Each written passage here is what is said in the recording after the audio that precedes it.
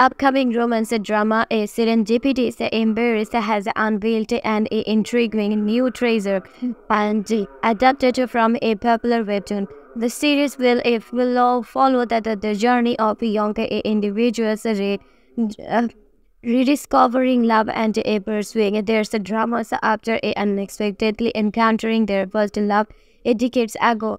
Kim So Hyun takes on the, the role of a Lee Hong Jo and a animation producer a haunted by a past heartbreaks whose life it takes an unexpected turn when she crosses the path with a Kang Ho Young and Kang Ho Young witnesses some of Lee uh, Hong Jo's most vulnerable moment from the, the past and sparking a transformation in their relationship.